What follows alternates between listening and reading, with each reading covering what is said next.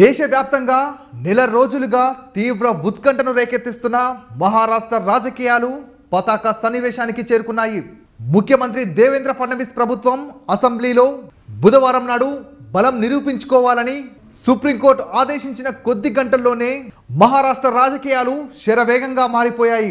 రెండు వందల ఎనభై ఎనిమిది అసెంబ్లీ స్థానాలున్న మహారాష్ట్రలో బీజేపీ నూట ఐదు స్థానాలు దక్కించుకుంది. కాగా శివసేన యాభై ఆరు సీట్లు ఎన్సీపీ యాభై నాలుగు సీట్లు కాంగ్రెస్ పార్టీ నలభై నాలుగు సీట్లు దక్కించుకోవడం జరిగింది. మహారాష్ట్రలో ప్రభుత్వ ఏర్పాటు చేయాలంటే నూట నలభై ఐదు మంది ఎమ్మెల్యేల మద్దతు ఉండాల్సి ఉంది. బీజేపీ తాను గెలుచుకున్న నూట ఐదు సీట్లతో పాటు పదకొండు మంది ఇండిపెండెంట్ల మద్దతు ఉండగా మరో ఇరవై తొమ్మిది మంది ఎమ్మెల్యేల మద్దతు అవసరమైంది. ఈ నేపథ్యంలో ఎన్సీపీ నేత అజిత్ పవార్ మద్దతుతో ఫడ్నవీస్ ముఖ్యమంత్రిగా ప్రమాణ స్వీకారం చేయడంతో పాటు అజిత్ పవార్కు ఉప ముఖ్యమంత్రి పదవి ఇవ్వడం జరిగింది. ఒక ప్రక్క శివసేన ఎన్సీపీ కాంగ్రెస్ ఈ మూడు పార్టీలు నూట అరవై ఐదు మంది ఎమ్మెల్యేలతో బల ప్రదర్శనకు దిగడం జరిగింది.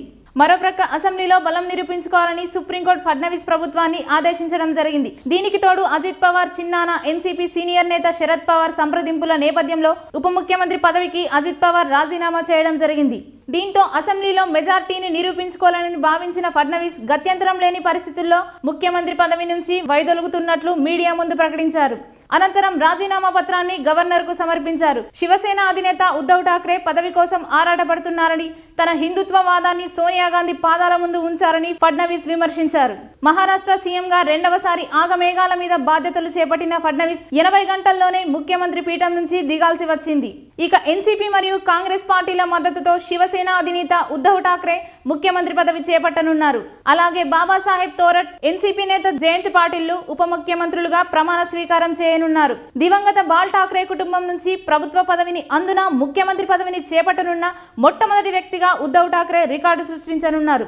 పంతొమ్మిది వందల తొంభై ఐదు తొంభై తొమ్మిది మధ్యకాలంలో ఏర్పడిన శివసేన బీజేపీ పొత్తుతో కూడిన ప్రభుత్వాన్ని మాత్రం బాల్ ఠాక్రే తెర వెనుక ఉండి నడిపించడం జరిగింది.